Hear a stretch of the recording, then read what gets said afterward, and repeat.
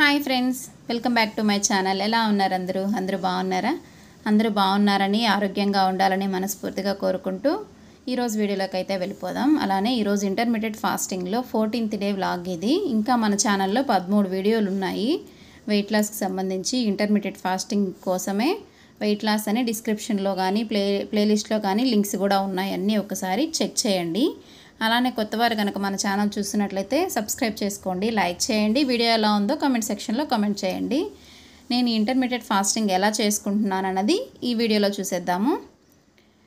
అలానే నేను ఏమేమి తీసుకుంటున్నాను ఎలా కుక్ చేసుకుంటున్నాను అన్నది కూడా చూసేసేయండి. లాస్ట్ వరకు స్కిప్ చేయకుండా.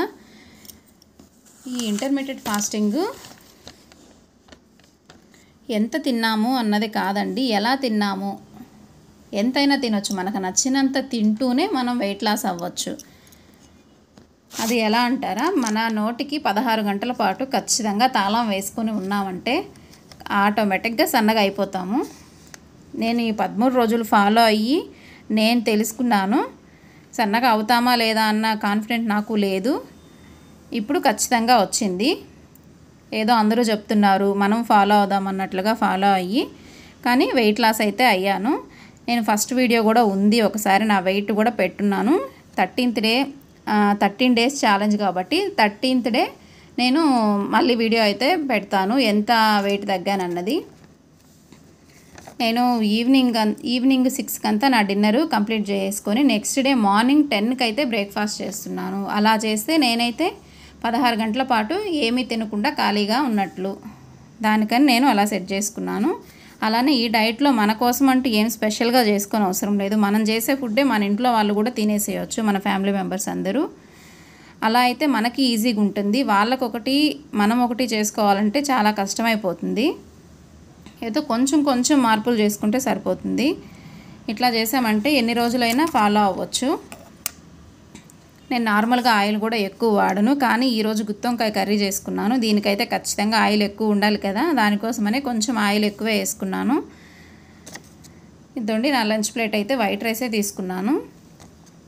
వైట్ రైస్ గుత్తొంకాయ కర్రీ అలానే కొన్ని క్యారెట్ కీరా ముక్కలతో నా లంచ్ అయితే వన్కి అంతా కంప్లీట్ చేసేసాను. మార్నింగ్ బ్రేక్ఫాస్ట్ టెన్కి అలానే లంచ్ వన్కి ఈవినింగ్ డిన్నరు.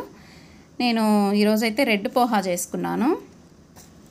ఈ రెడ్ పోహా కూడా చాలా మంచిది. నేను ఈవినింగ్ పిల్లలకి స్నాక్స్ అదే పెట్టాను. నేను డిన్నర్గా కూడా అదే తినేసాను.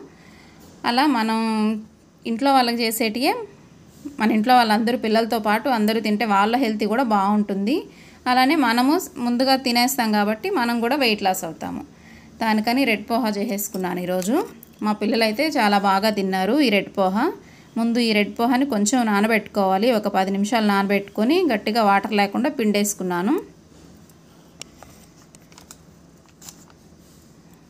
తర్వాత ఈ పల్లీలు ఉల్లిపాయలు ఆవాలు జీలకర్ర పచ్చిమిర్చి అన్నీ వేసేసుకుని ఫ్రై చేసుకున్నాను.